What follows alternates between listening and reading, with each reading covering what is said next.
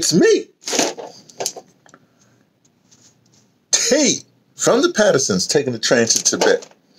Man, I have some concerns tonight. Well, not concerns, whatever. My little last bottle of Guinness, extra stout. That's my dear. It's night. It's night right now. I'm gonna go.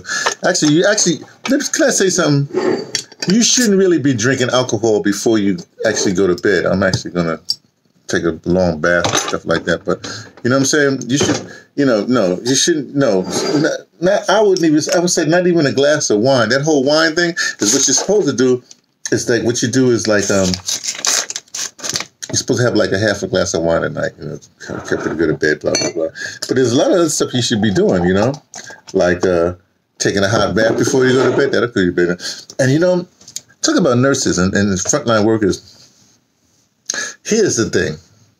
It used to be nursing. I used to I used to know this. The biggest thing you could do uh, is still to this day. What you can do is before somebody goes to bed, you do their feet. You rub their, you know, you massage their feet. You know, that's a, that's an excellent thing. A bath and a hot bath and feet gives you a good night's sleep. You don't need sleep. You don't need no. You don't need no uh, uh, pills, no no sedatives, no whatever. That You don't need none of that stuff. You know what I mean? And uh, well, that you don't need any of this stuff. But here's the thing. The, um, here's the funniest thing I've seen so far. Right, we we have to wear a mask and everything when you go out, right? But here's what I find. Remember, I'm walking all the way from like you know the west side of Manhattan, west side. Let's say uh, Harlem. Well, the west side of Manhattan to Harlem proper. You know, the heart of Harlem, right? And, and so you got to go through a lot of different, you know, cultures as you as you walk through. You know, from say Broadway to Madison Avenue. You know, okay. So, just second, my beer.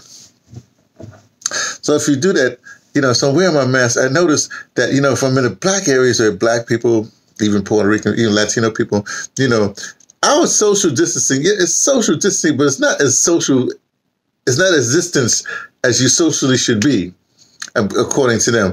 I, I, as you know, human beings are social creature, so we want to be together anyway, herd animals. So I don't know how this is going to work out, for how long it's going to work out, but that's not the point. So, but what I notice also is when I'm in areas with white people, white people take this really long swath around. around you it's unbelievable.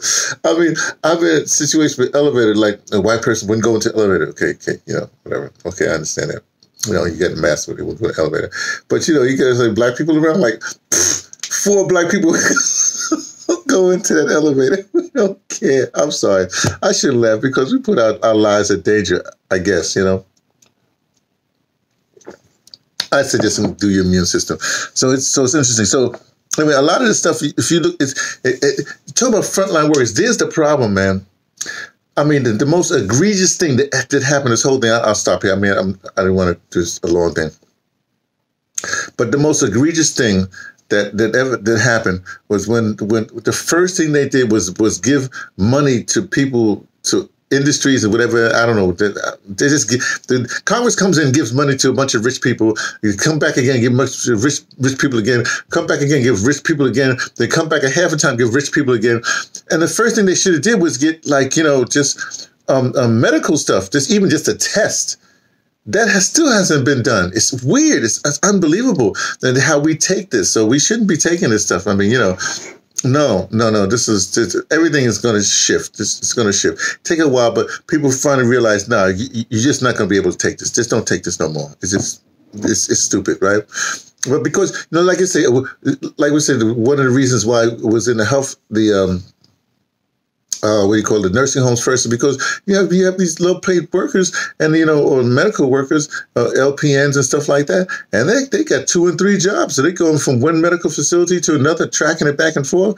I mean, the whole the emergency room people, oh my gosh, you know, I mean, that's the first people that should. Who is? I just don't understand. I really don't understand why we allow these people to continue to fleece us. Stop. Let uh, things good. It's, it's got to happen. But anyway, look take money back from the from the shipping thing and make that. Uh, okay, I'm through. I'm through. I just want to make it really short, but I'm you know, look, bless the healthcare workers. you know, uh, my sister's about to go into a thing where she going to a, a unit, a, a, a, a COVID unit, you know what I mean? And which is actually the best place to be because then you have all the protective gear you can't in there just going to, you know, you're saying, so it's smart to, to do that if you, if you can. Um, anyway, so that's it. A little message from me. T from the Patterson, take from an undisclosed location.